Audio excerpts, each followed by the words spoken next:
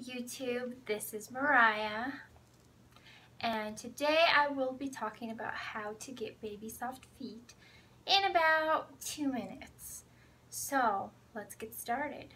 What you will need is a grocery bag, any grocery bag works, a pair of scissors, some socks, and your favorite moisturizer. In my case, I like to use coconut oil.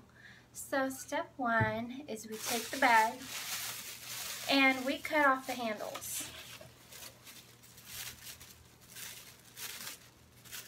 And doesn't want to cut. Cut. On both sides.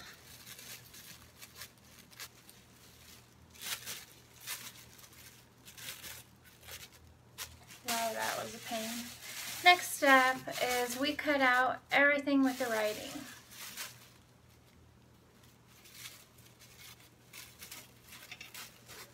Just go right around the writing.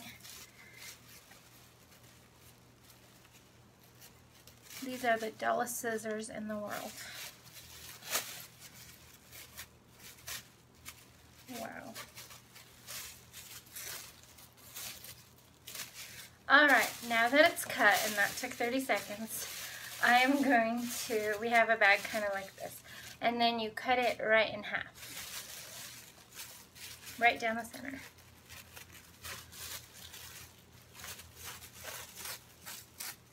Does not have to be perfect. Now we have two sides kind of like this with a little pocket on top and open right there. So then we lather up our feet, so one foot at a time.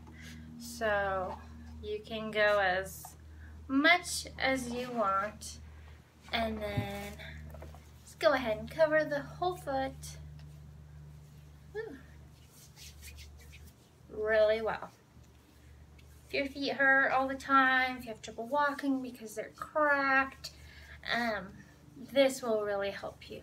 So once done, use this little pocket to stick the heel in. And then you pretty much wrap your foot like a burrito.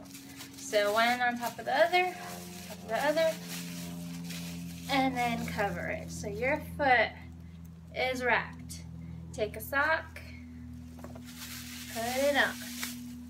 Now do so with both feet and you can go ahead and go to sleep like that, go to bed, or put on your tennis shoes, walk around all day. People won't even hear any sound. It's very light. Um, but in the morning when you wake up, you have you will have baby soft feet. You can hop in the shower. I, the oil of coconut oil will stay on. It will actually moisturize you throughout the day. So you will have baby soft feet and it just probably takes a minute or two to wrap your feet. Once you get it down, um, you can even pre-cut the bags ahead of time and just have a ready supply.